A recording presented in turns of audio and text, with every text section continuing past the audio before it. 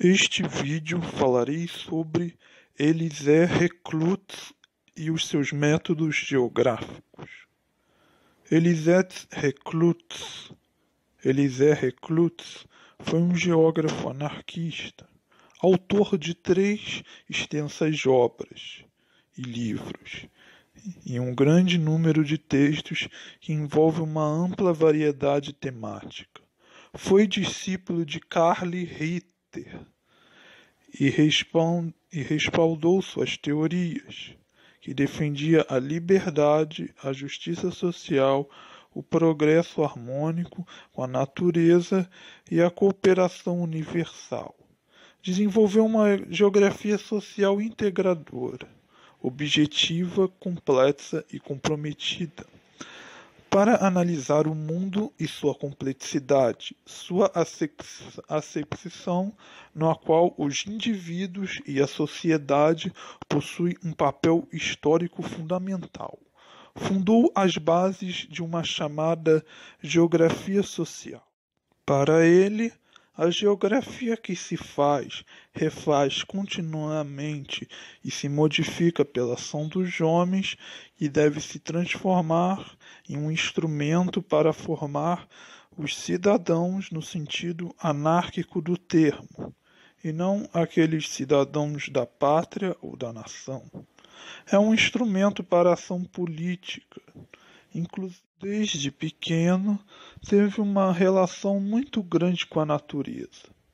Aos 17 anos, teve contato com os socialistas utópicos. Vamos lembrar que ele estava num contexto do século XIX. Ele teve contatos como teóricos como Saint-Simon, Augusto Comte e Proudhon, dentre outros.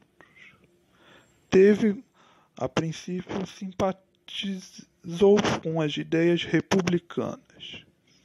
Só que mais tarde ele vai romper com essas ideias. Fez faculdade, obviamente, de geografia. Viajou pelo mundo e, a partir daí ele foi formulando suas teorias geográficas. Em 1851, Reclutes, com 21 anos, fez um texto já com referências anarquistas. Em 1852, o Reclus fez uma viagem à França, depois para a Inglaterra, e recebeu um emprego para administrar uma fazenda. Ele teve que sair da França, pois ele foi expulso por causa das suas ideias. Mas mesmo assim, ele fazendo essa pesquisa e teve esse emprego de administrador de uma fazenda, ele não deixou de acentuar suas teorias. E a partir daquele momento ele viu o que a Inglaterra fazia contra a Irlanda. Na Irlanda, ele viu a apropriação de terras feitas pela Inglaterra, utilizadas contra os camponeses locais, através principalmente de medidas de de legalização de terras que eram feitas pelas elites. Ele viu que a liberdade da terra é uma condição para a liberdade do indivíduo. Depois disso, ele viajou também para as Américas. E depois, quando ele viu a escravidão e o tráfico de pessoas, e que a igreja estava comprometida com os proprietários de terras de escravos, que a igreja inclusive participou desse processo ativamente, ele viu isso e este fato fez e esse fato, aliado com as experiências religiosas que ele teve na Europa, fez ele lançar mão da religião protestante. E ele acabou largando a religião protestante e também o cristianismo. E ele viu que a instituição da igreja oprimia bastante, tanto na América quanto na Europa. Ele voltou para a França e realizou viagens geográficas em diversos países. Também realizou obras de caráter social e geográfico. Bem, agora eu falarei sobre as teorias que influenciaram o, o pensamento do autor. Bem, ele vai ser influenciado por Jean-Jacques Rousseau, Pierre Proudhon e Carle Ritter. O pensamento russoniano sobre harmonia natural, As teses positivistas e dialéticas de Proudhon, vinculadas ao, ao princípio de ajuda mútua como motor da humanidade, expresso também outros autores, dentre eles Bakunin e Kropotkin, e a concepção de Carly Ritter sobre a importância da história e os estudos geográficos formam as teorias do autor dando um impulso inicial às ideias desenvolvidas ao longo de sua via científica. A geografia social que ele está ligado está ligada a três grandes princípios, que são a luta de classes, a procura do equilíbrio e a decisão soberana do indivíduo, aos quais se apresentam bastante interligados. Esses conceitos formam a sua dialética. Inclusive, essa vai ser as suas três grandes teorias que vão formular suas outras teorias. E a gente vai ver cada uma delas aqui.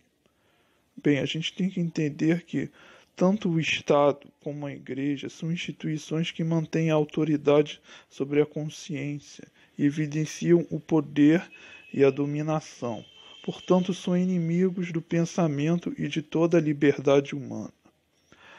E eles anulam a liberdade humana do homem que precisa ser livre entre si. Bem, também existe o outro conceito.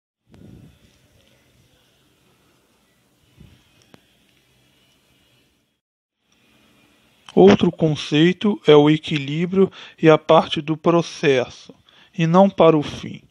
A Igreja e o Estado são responsáveis pelo rompimento do ponto de equilíbrio tanto no que se concerne à relação entre indivíduos, como à referência e os antagonismos existentes entre as, entre as classes sociais. Reconhece que é este processo dialético que promove a luta de classes, no qual os que mandam vão continuar querendo manter seus privilégios, enquanto os outros vão ter que obedecer a esta autoridade. E também a gente vê que o terceiro conceito é que a evolução na sociedade pode ser alcançada através do esforço individual, se cada um conseguir fazer sua parte, ou seja, cada indivíduo conseguir fazer sua parte. E também o autor não reduz a política a assuntos do Estado, e sim a vontade do indivíduo de mudar as coisas no seu espaço social e geográfico em que ele está inserido. Então podemos perceber que esses três conceitos formulam sua teoria. E esses três conceitos, obviamente, estão ligados entre si. Bem, é isso então. Até a próxima.